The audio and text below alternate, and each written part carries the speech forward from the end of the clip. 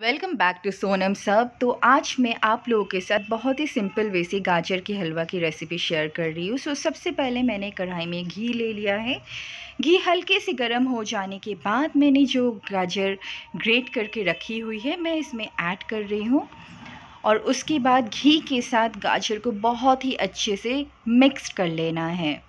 और ये जब अच्छे से मिक्सड हो जाएगी और हल्की सी मॉइस्ट हो जाएगी तो मैं इसमें इलायची के दाने ऐड कर रही हूँ। सो so गाइस अगर आप लोग के पास इलायची पाउडर हो तो आप लोग प्लीज़ इलायची के पाउडर भी यूज़ कर सकते हैं। बट मेरे पास नहीं थी तो मैंने एज अ ऑल्टरनेट मैं इलायची के दाने ऐड कर रही हूँ।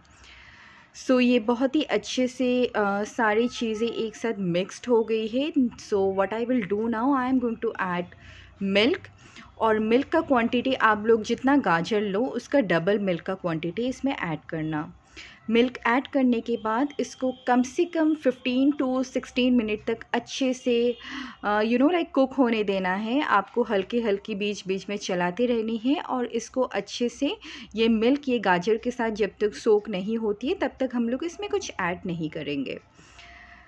सो या आई होप ये गाजर के हलवा मेरी जो फ्रेंड आने वाली है, उसको पसंद आए। तो मैंने इसको कवर कर लिया है और मैं इसको अच्छे से पका ली हूँ और ये ऑलरेडी जितनी मिल्क है, ये बहुत ही अच्छे से इसको सोक कर ली है।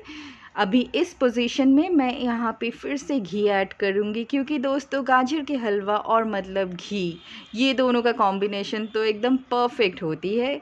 और अगर आप डाइट कॉन्शियस हो तब आ, मैं ये नहीं बोलूँगी कि आप नहीं खाओ once in a blue moon खाने से यार कुछ नहीं होगा। अभी मैं क्या करूँगी घी ऐड करने के बाद ये होममेड मलाई है जो मैं घर पे बना ली थी तो मैं ये ऐड कर रही हूँ। क्योंकि दोस्तों, मेरे यहाँ पे कोई भी स्वीट की शॉप अवेलेबल नहीं थी और मैंने मावा बहुत ढूँढने की कोशिश की, लेकिन मुझे मावा नहीं मिली। तो एज अ ऑल्टरनेट मैं इसमें मलाई ऐड कर रही हूँ। लेकिन आप लोग के वहाँ पे अगर मावा अवेलेबल हो प्लीज़ गो अहेड विद मावा।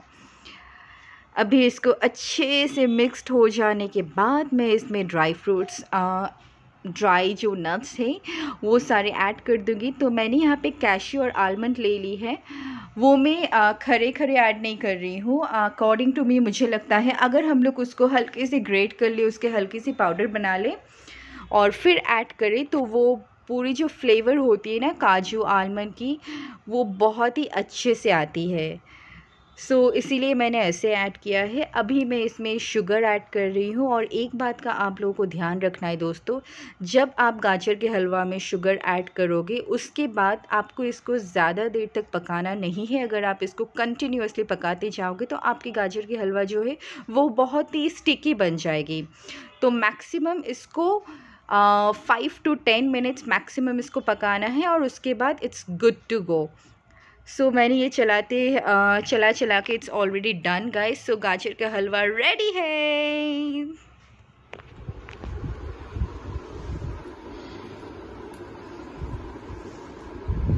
hmm. It really tastes amazing.